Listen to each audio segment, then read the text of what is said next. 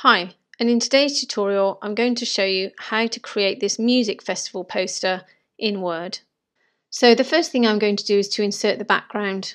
So let's go to Insert, go to Shapes, click on the drop down and select the square. Then just click and drag out a rectangle that covers the entirety of your page. And then we're going to format this object. Now we can do it with some of the tools up here, but what I want to do is to go to shape format and go all the way along to format pane. This gives us far more customization over here. So on the bucket icon here, go to fill, click on the drop down, and I'm going to go to gradient fill. Now because I've already rehearsed this, I can see that my gradient's already in here. You can see the blue and the pink on this gradient slider. So the way in which you use this is firstly to select your colours. And to do that, you select on one of these markers, go to your colour icon, and then, apologies, you can't see the entire menu. Select from the colours available. If you can't see the colours you want, go to the bottom here to more colours. And then you've got your colour wheel here. You can move this little cursor around the colour wheel to select a colour of your choice. And you can see your selection will appear in this box here then you can use this slider to make that colour lighter or darker. Then just click OK and you'll have the colour of your choice. So for here, I've obviously chosen this dark blue, and then over to here, I've chosen this pink. Now to make this gradient a circle, we need to go to type. So if you click on the drop down, I've selected radial, and then from the direction, I've centered, apologies again, it's over to the right, you, there's a circular from center icon, which will mean that your gradient will go from the center out to the edges. You can customize it by moving the sliders just to suit your needs. You can always change it at the end as well. So now we've got that background in, I'm going to go back to Insert, Shapes, click on the drop down and I'm going to select the circle. Now if you just click and drag out a circle, you'll see that it's not a perfect circle and it will come out like an oval.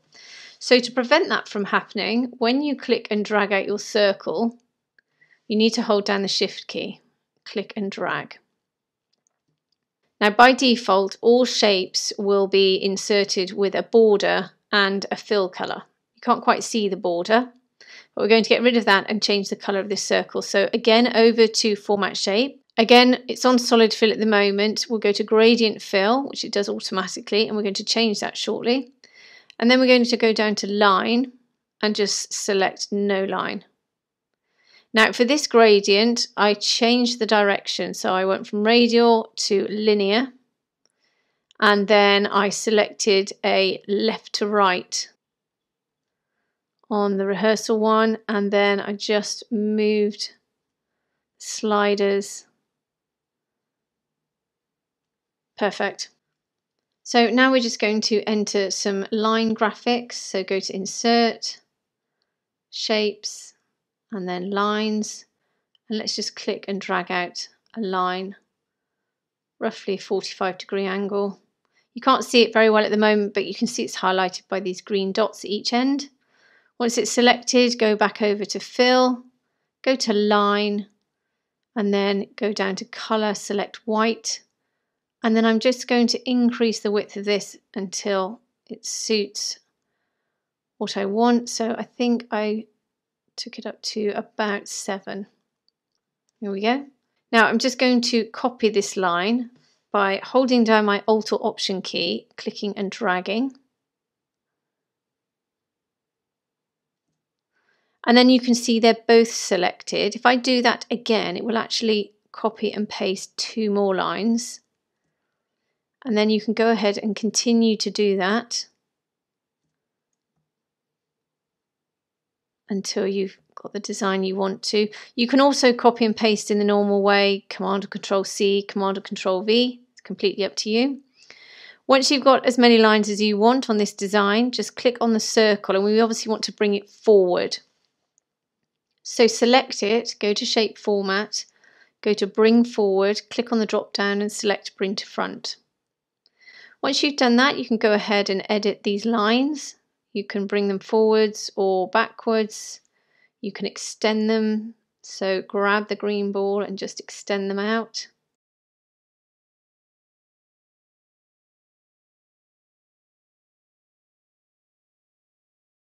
Okay, so once you're happy with the design, we'll go ahead and put some text in. So go to Insert, Text Box, click on the drop down, select Draw Text Box, click and drag out a text box. Now again, by default, these text boxes are inserted with a black border and a white background. So we're just going to type some text in quickly.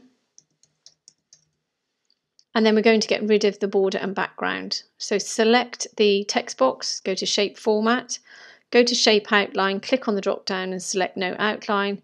Go along to Shape Fill, click on the drop down and select No Fill. If I click away, you can see there's no text box. So click back on.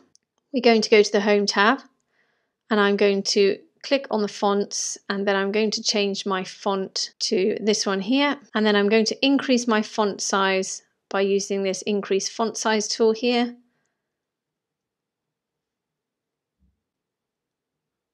I think I'll go to 110 with that one.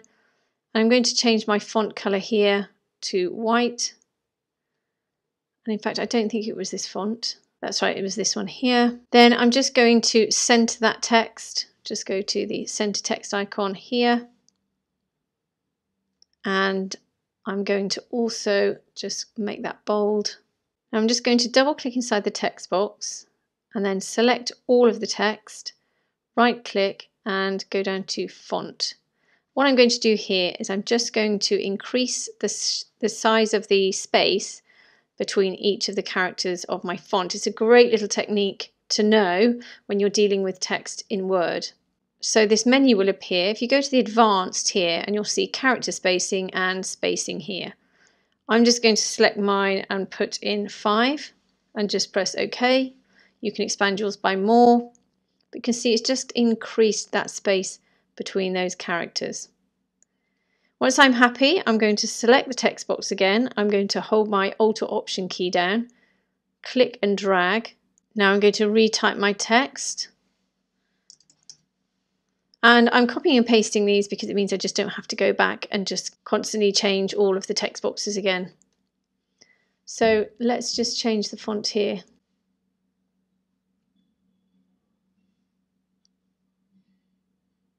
just change that to Aharoni there and then I'm just going to move this text down. We're going to align all this at the end but I'm just going to now copy and paste this text as well again.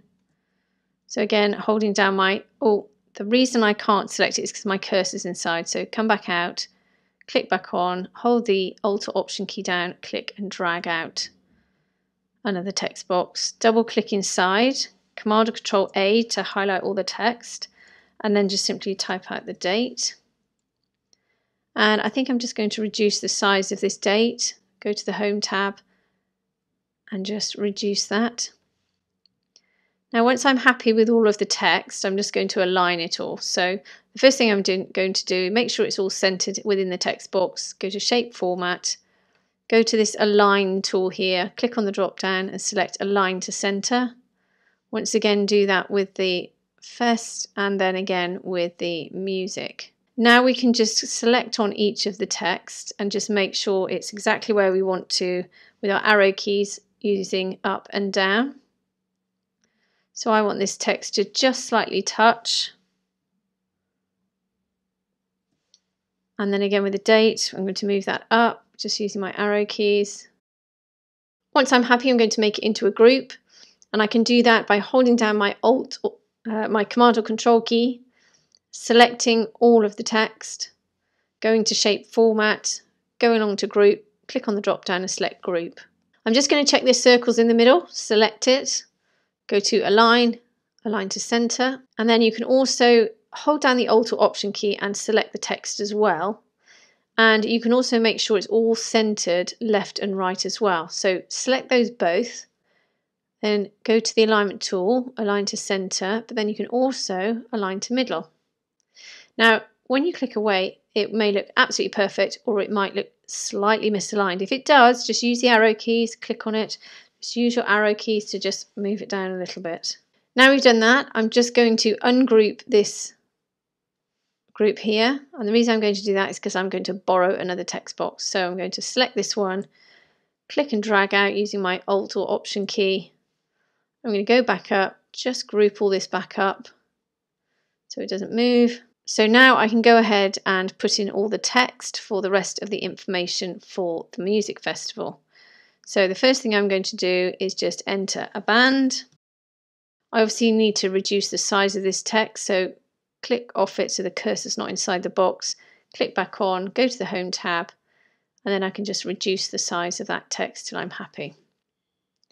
Now because this is all formatted to this text here, you can see there's gaps between this, but I'm going to just change the font to this one, Agency FB. I can change this text if I want to, because remember, everything you do now, we're going to copy and paste it. So we have to format everything to make our life as simple as possible. Now we're going to use this text at the bottom, so I'm just going to click and drag out another text box. And what I'm going to do with this particular text is I'm going to reduce that spacing between the characters again. So double click inside, Command or Control A, and then right click, go down to font. Then again, in this menu, go to advanced and then just take out the five points, just delete it. So now we can go ahead and place the, the other bands in. So just using my return key,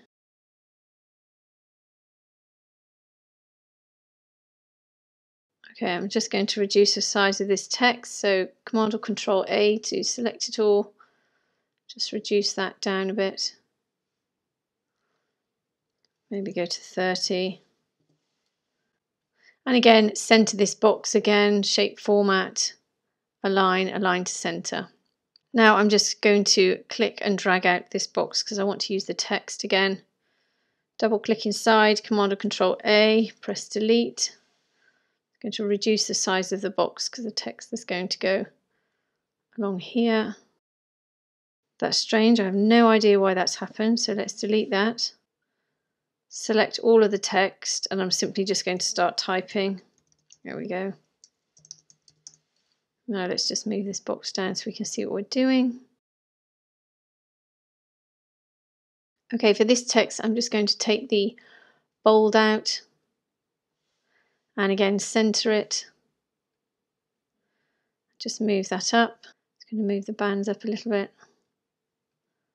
I know I've nudged that out it's out of center now so I will go back. I think I'm just going to reduce the size of this text a little bit. There we go. Now at the bottom here I'm just going to put all the dates and the contact details I am going to use separate text boxes because it just gives me a bit more flexibility with the font sizes and where everything will actually sit in the poster. So let's just select all of that again. Again, I'm going to reduce the size of this font. And I'm going to actually extend this font again to put that up to 7, I think. I'll take that to 10. There we go. Okay, now we've got all the font in, we can start nudging it up and down. So I'm going to start nudging things up and then I'll center it all afterwards.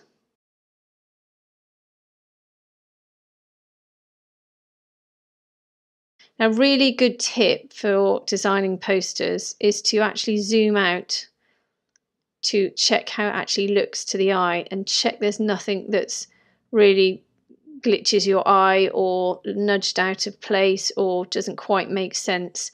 You think, oh, that needs nudging up a little bit or down a bit. I just notice a little corner up here, so I'm just going to nudge that line up a bit. And there's a bigger gap here between the two lines, so so once that's all finished, you can either go ahead and print it out yourself, or of course you can save it as a PDF and send it off to your printers. I hope that's helped you today. If it has, please subscribe and have a great day.